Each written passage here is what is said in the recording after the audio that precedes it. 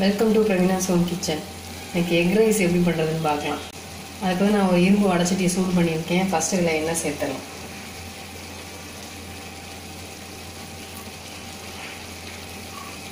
ஒரு பெரிய வெங்காயம் எடுத்து இந்த மாதிரி பொடியாக கட் பண்ணியிருக்கேன். இப்போ அதை நம்ம எண்ணெயில் சேர்த்துடலாம்.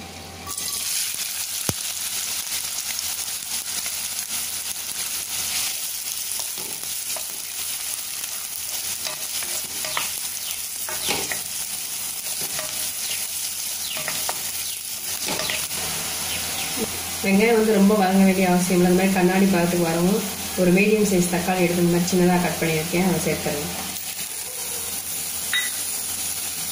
ரெண்டு பச்சை மிளகா. சேர்த்து நல்லா வதக்கிடுங்க.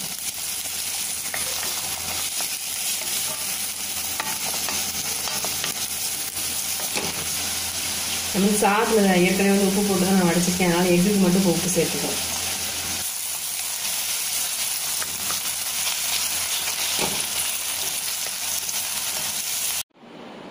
இப்போ இதோட சேர்க்கறதுக்கு ஒரு ஸ்பூன் மிளகுத்தூள் அரை ஸ்பூன் சீரகத்தூள் எடுத்திருக்கேன். இப்போ இதோட சேர்த்துடலாம்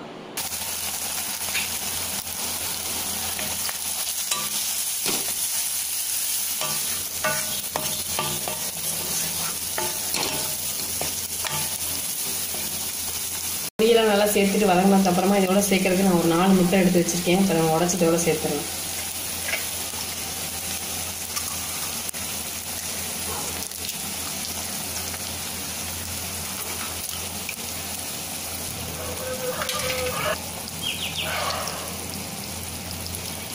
முட்டையை உடச்சி ஊற்றிட்டு நல்லா கலந்து விட்டுருங்க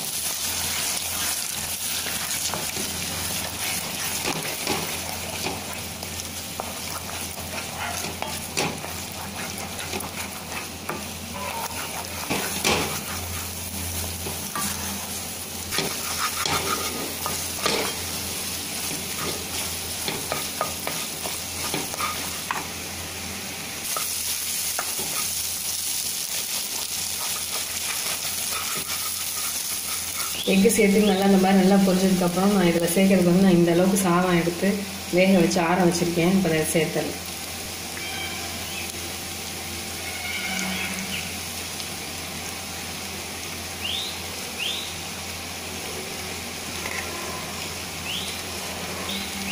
இப்போ எல்லாத்தையும் நல்லா ஒன்றா மிக்ஸ் பண்ணி விட்டுருங்க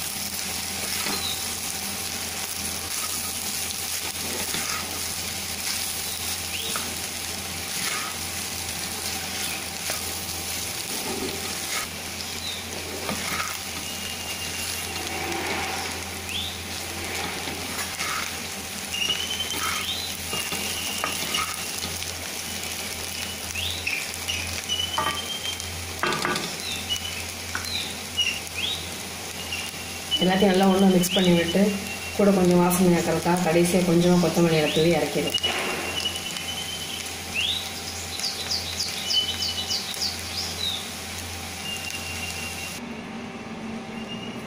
எக் ரைஸ் ரெடி ஆயிடுச்சு. இதே மாதிரி நீங்களும் ட்ரை பண்ணி பாருங்கள் இந்த வீடியோ உங்களுக்கு பிடிச்சிருந்துச்சுன்னா லைக் பண்ணுங்கள் ஷேர் பண்ணுங்கள் சப்ஸ்கிரைப் பண்ணுங்கள் தேங்க்யூ